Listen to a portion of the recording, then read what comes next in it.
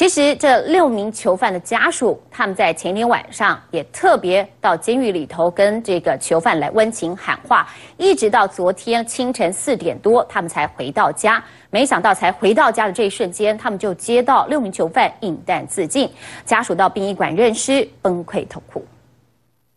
清晨四点多，才刚从大寮监狱离开，马上就接到儿子饮弹自尽的消息。黄显胜的老母亲赶到殡仪馆，溃堤的眼泪令人鼻酸。而另外在殡仪馆崩溃痛哭的，还有囚犯黄子燕的姐姐以及两名侄女。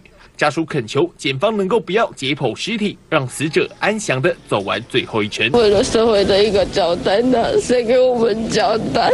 你就说他已经全尸才对。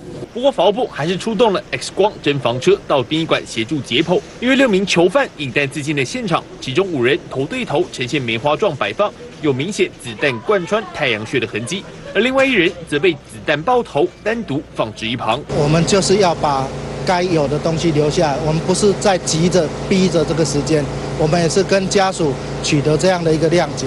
检察官强调，解剖是必要程序，必须将所有的鸡卷保存下来，日后才有充分的证据给社会大众一个交代。记者高雄综合报道。